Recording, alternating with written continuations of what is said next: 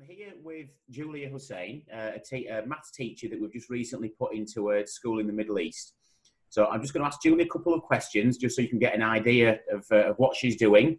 And um, hopefully it'll give you a flavour if you decide that you want to move overseas as well. So, Julia, whereabouts are you in the world? Um, I'm currently in Kuwait, so we're in a district called Hawali at the moment. So yeah, moved over to Kuwait in about a month ago. Okay, uh, are you enjoying your time? Yeah, it's absolutely fantastic. Really, really, really good. The weather's nice. So yeah, people have been complaining about the weather in the UK, but it's about 44 degrees over here, so it's really good. Yes, it's a little bit warmer than it is here. Um, which school are you at? Um, I'm currently at the English Academy in Hawali, so yeah, I can see it right, right outside my window. Our accommodation is so close; it's great. Oh, good. So you can walk to school then, I take it. Yeah, yeah, yeah, yeah. It's, it's really close. Okay.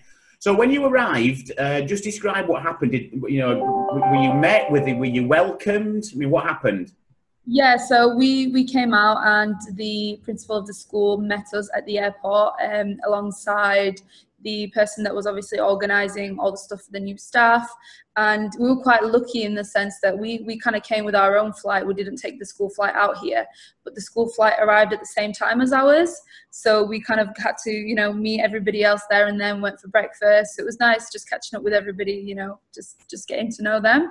So yeah, it was really good. And then we got on the bus and we were brought to our accommodation straight away where we just had some time to, you know, chill out a little bit. And following on after that in the afternoon, um, there was another trip arranged for us to go out and get some groceries. So it was really well organised, just settled in really, really quickly. It was fantastic. Okay, wonderful. So, with regards to your role as a maths teacher, just describe uh, just a typical day, really.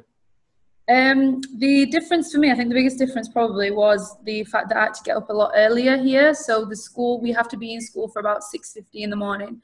So I usually get up at about 5 o'clock, get ready, get dressed, go to school. Um, I teach a maximum of four periods a day. Um, but the sessions again are different to the UK in the sense that they're 80 minutes uh, compared to the hour that we've got. But you don't feel it at all. I was really worried that it was going to be 80 minutes. I'm not going to know how to fill the time, but it does go quite quickly. So yeah, it, it was really good. And then um, yeah, just come home about two o'clock. So we finish at 2:20. Come home and just chill out a little bit. Maybe go to the gym, socialize with friends. So yeah, it's good. It passes quite quickly. Seems like a very nice life. Yeah, it's good. It's good. It's chill. what about your students? Um, what they like? Oh, they're lovely. They're so lovely, honestly. Completely different again to the UK. Um, I don't feel like I have to push them as much. You know, they're they're a lot more willing. They're a lot more hardworking, enthusiastic about the stuff. They never complain about maths. For most of them, maths is probably their favorite subject. So that's been really nice, where I can just stand at the front of the class, just actually get on and teach. You know, there aren't that many behavioural issues, um, which has been a really really nice change. Um, so yeah, they're really good. Yeah, definitely. So regarding you know working and living in Kuwait, I mean, what about cultural difficulties and you know how have you adapted to local culture?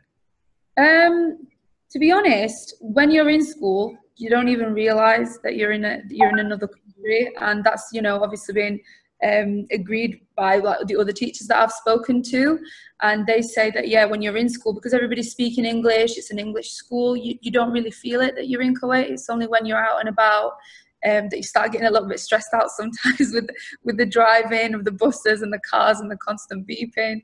So you just you just have to learn to be a little bit patient and you know just realize you've got to get used to it and it'll be fine after that. Yeah, that's that's been the biggest difference.